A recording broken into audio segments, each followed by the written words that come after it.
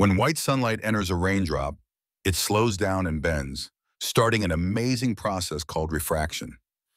As the light waves travel through the water droplet at different speeds, they separate into the spectrum of colors we can see. Each raindrop acts like a tiny prism, with some colors bending more than others as they pass through the water.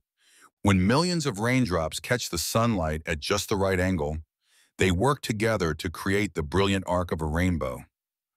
The light bounces off the back of each raindrop and exits at precisely 42 degrees, which is why rainbows always appear as a circular arc.